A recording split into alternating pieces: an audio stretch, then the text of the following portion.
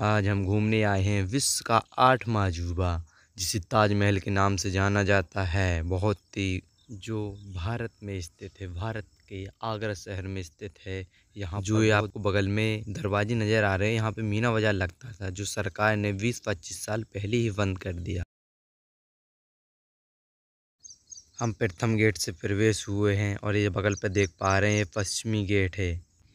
अभी हम जहाँ पहुँच रहे हैं वो ताजमहल का शीश गेट है, जहाँ से प्रवेश लिया जाता है ताजमहल के लिए। फिर कड़ी मेहनत के बाद हम पहुँच गए हैं ताजमहल। वाह क्या ताजमहल है। ताजमहल शाहजहाँ ने अपनी बेगम मुमताज़ की याद में बनवाया था। हमने सुना है कि उन्नीस सौ बत्तीस में यह प्रारंभ हुआ था बनना और उन्नीस सौ तिरपन तक बना था। इसमें लगभग बाईस सालें लग गई थी इसे बनने के लिए। एंड इसमें बहुत से मज़दूर काम किया करते थे एंड 210 कारीगरों ने मिलकर इसे काम को पूरा किया है। महल में लगने वाला पत्थर 28 प्रकार का पत्थर था जो कई देशों से मंगाया गया था। लोग सोचते हैं कि पत्थर कैसे मंगाया होगा विदेश से।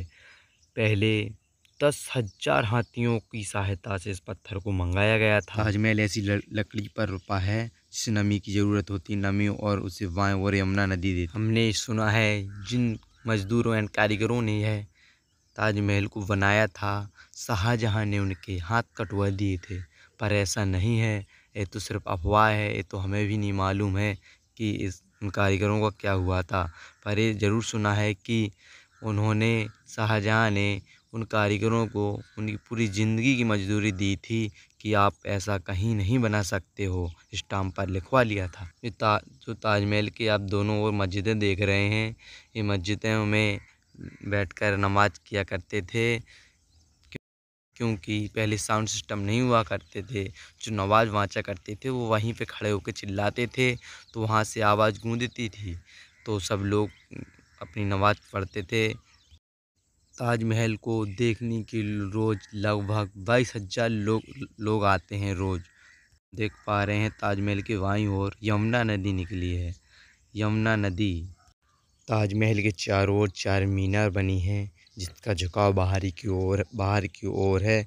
क्योंकि अगर तूफ़ान कुछ भी आपदा आती है तो वह बाहर की ओर गिरें, क्योंकि ताजमहल पर कोई चोट नहीं आनी चाहिए। चैनल को सब्सक्राइब ज़रूर करें एंड लाइक एंड